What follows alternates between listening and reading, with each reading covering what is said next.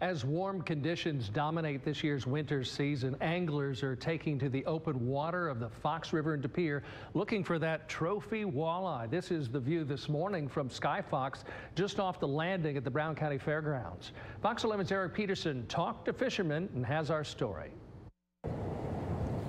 At the Fox Point boat launch in De Pere, a steady stream of pickup trucks, trailers, and boats heads toward the water. Alan Solie and his uncle Lucas Solie drove from the western part of the state to fish for walleye on this part of the river. Our boat's not big enough to, to be out in, in the big water, so we're just trying to come in here and, and, and uh, get, get the boat in the water for the first time this year and, and, and see if we can't, you know, catch whatever we catch. You know, hopefully, hopefully we land some, some decent walleye though. Every year, walleye make their way upstream from the waters of Green Bay to places like the De Pere Dam to spawn. The event brings fishermen and women from all over the Midwest. On Monday morning, about a dozen boats were spotted in this area. Anglers don't need to fish on the water. Fishermen lined the shoreline at Voyageur Park in De Pere. Hopefully to use to catch some fish and use up my minnows. Yeah. I've been trying to do that. Ed Vanden Elzen says he fishes here a lot. On this day, he already has two perch in his bucket. Whatever bites, I've caught uh, pretty much everything that's in the river here over the last few years. Today's perch, though. Uh, yeah, that's mainly what I'm after. Back on the river, fishermen continue to cast, including Alan Solie. I don't know if it's more so about the fish, but the the experience. You know, like meeting new people, doing something you never did before, catching quality fish, and you know, it's just it's a pretty fun time. Alan's uncle Lucas agrees. Just getting a chance to to spend some time with my nephew. You know, uh, while while he has the time, uh, is is is what it's really all about for me. In De Pere, Eric Peterson, Fox 11 News.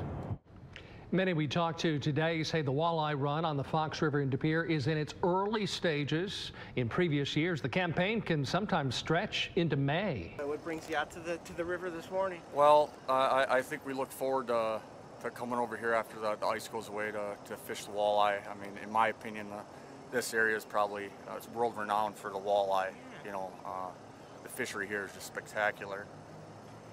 Is it catch and release trophy stuff? You take a picture and throw it back, or I mean, We're, the... we're just uh, we're, we're just uh, catch and release fishermen. We, we don't.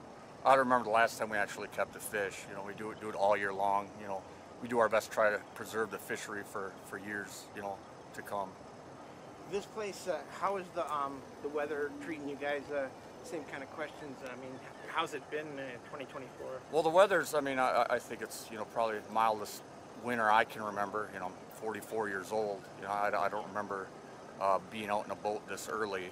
Uh, I guess with the, the lack of, of snow and, and, and ice this year, you know, I, I know it's going to affect uh, the water levels and in turn, you know, in, in the long run somehow affect uh, the the spawning of the walleye. You know, uh, water warms up faster, but you know, I, I think that the flow rates it, it doesn't get to the bay, you know, to to warm the bay up as fast. So Are the walleyes running, or are they spawning yet? Or I mean, what's the what's the word on the street for the for the fish? from my understanding, um, you know, they're still staging.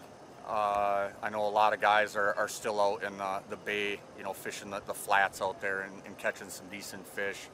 Uh, we just tried to come in here. Our, our boat's not big enough to, to be out in, the- in the big water, so we're just trying to come in here and, and, and uh, get get the boat in the water for the first time this year and, and, and see if we can't, you know, catch whatever we catch. You know, hopefully hopefully we land some some decent walleye though. All right.